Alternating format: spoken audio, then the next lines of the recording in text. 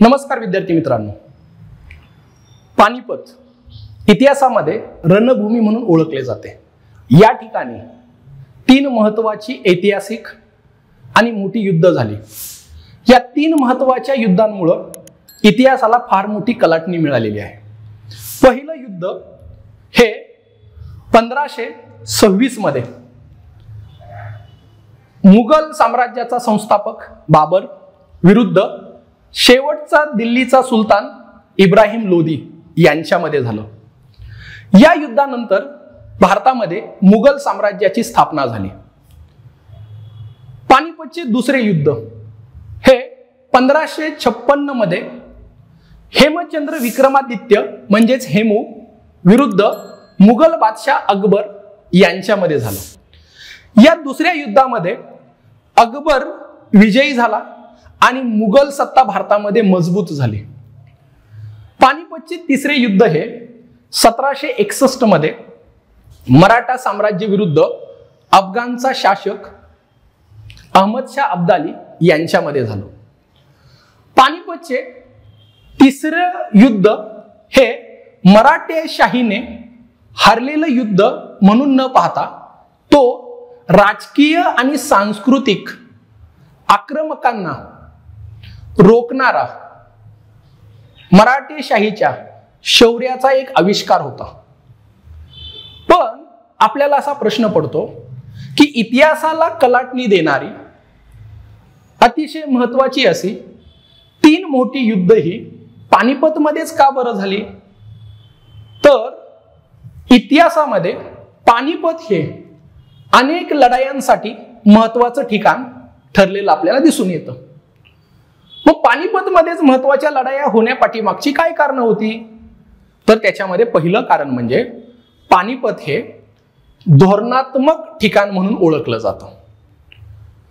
भारतामध्ये खैबर खिंडीतून प्रवेश केल्यानंतर येणारं ठिकाण म्हणजे पानिपत.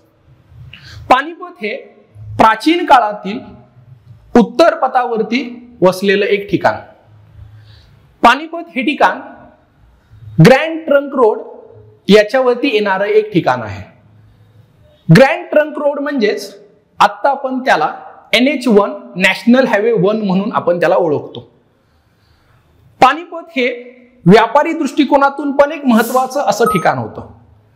पानिपत याच शहराला या ठिकाणाला विणकरांचे ठिकाण म्हणून ओळखलं जातं.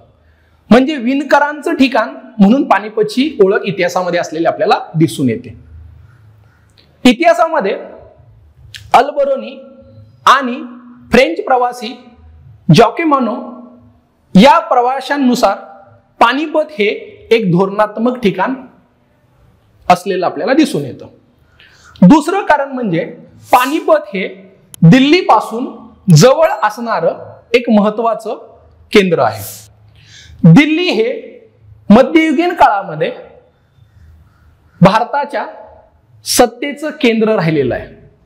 त्यामुळं दिल्लीवर आक्रमण करण्यासाठी सैन्यांची जुळवाजुळव आक्रमणाची पूर्वतयारी आक्रमणासाठी लागणारं नियोजन या सर्वांची पूर्तता करण्यासाठी पानिपत हे एक महत्वाचं ठिकाण असलेलं आपल्याला दिसून येतं.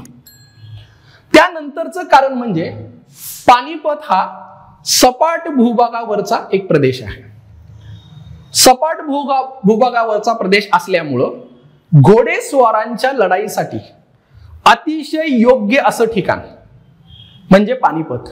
परंतु पानिपतमध्ये गनिमी कावा हा अपयशी ठरत असत. पानिपत हा सपाट आणि उताराचा प्रदेश असल्यामुळं योद्ध्यांना अनेक कौशल्य आणि तंत्रांचा योग्यरित्या वापर करणे शक्य होत असत. पानिपतमध्ये सपाट भूभाग असल्यामुळं एकमेकांवरती चाल करून जाणे सैन्यांसाठी राहुट्या उभारणे जनावरांच्या विश्रांतीसाठी छावण्या उभारणे अशा अनेक कारणांसाठी सपाट भूभाग हा एक प्रकारे मदतच करत असे. म्हणून पानिपतचा प्रदेश हा सपाट असल्या कारणामुळं तो एक महत्वाचं युद्धासाठी वापरलं जाणारं ठिकाण होतं. पुढचं कारण म्हणजे पानिपत या ठिकाणी तज्ज्ञ कारागिरांची मोठ्या प्रमाणामध्ये उपलब्धता. पानिपत हा जो काही प्रदेश आहे या भागामध्ये विविध प्रकारचे शस्त्र बनवणारे तज्ज्ञ कारागीर उदाहरणार्थ लोहार सुतार हे या भागामध्ये मोठ्या प्रमाणामध्ये राहत असल्या कारणामुळं या ठिकाणी आधुनिक शस्त्र बनवणे शस्त्र निर्मितीचे अनेक केंद्र या ठिकाणी होती. त्यामुळं शस्त्रांचा साठा सहजरित्या उपलब्ध होत असल्या कारणामुळं पानिपत हे लढाईसाठीचं एक महत्वाचं ठिकाण म्हणून पुढे आलं. त्यानंतरचं कारण म्हणजे पानिपत या भागामध्ये लढवय्य जमात राहत असत. पानिपत हे उत्तर भारतातील एक महत्वाचं ठिकाण जे लढायांसाठी नेहमी आपल्याला इतिहासामध्ये वापरलेलं दिसून येतं. या भागामध्ये लढवय जमात मग त्याच्यामध्ये रजपूत असतील शीख असतील गुज्जर असतील जाट असतील यांच्यासारख्या लढवय्य जमाती राहत असल्यामुळं कोणत्याही राजाला कोणत्याही बादशाला किंवा कोणत्याही साम्राज्याला सहजरित्या सैन्य उभं करणं हे शक्य झालं. कारण का? या भागामध्ये एक वॉरियर क्लास म्हणजेच लढवय्य जमात मोठ्या प्रमाणामध्ये उभी होती. त्यामुळं मोठ्या प्रमाणामध्ये जे आपण ज्याला उभे सैन्य म्हणतो खडे सैन्य म्हणतो हे उभं करणं शक्य झालं. त्याच्यानंतर पानिपतचं हवामान हे अतिशय महत्वाचं ठरतं. आता आपल्याला प्रश्न पडतो की युद्धाचा आणि हवामानाचा काय फरक असतो का? तर युद्धाचा आणि हवामानाचा काही संबंध असतो तर तो म्हणजेच युद्धामध्ये ज्या वेळेस हवामान सुद्धा अनुकूल असतं त्यावेळेस युद्धामध्ये युद्ध जिंकणे युद्ध हारणे याच्यावरती त्याचा परिणाम होत असतो. पानिपतचे हवामान हे थंड आहे. कमी कालावधीसाठी या ठिकाणी मान्सून असतो.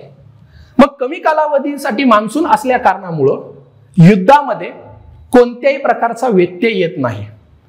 यमुना नदीला येणारे पूर याच्यामुळं केव्हा आक्रमण करायचं केव्हा विश्रांती घ्यायची शत्रूला नेमकं कोणत्या ठिकाणी खिंडीत गाठायचं या सर्वांची रणनीती आखणे हे पानिपतमध्ये शक्य होतं.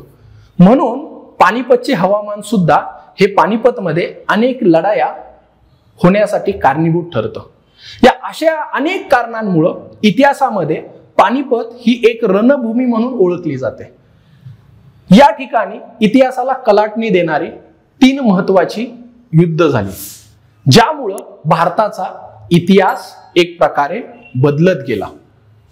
धन्यवाद.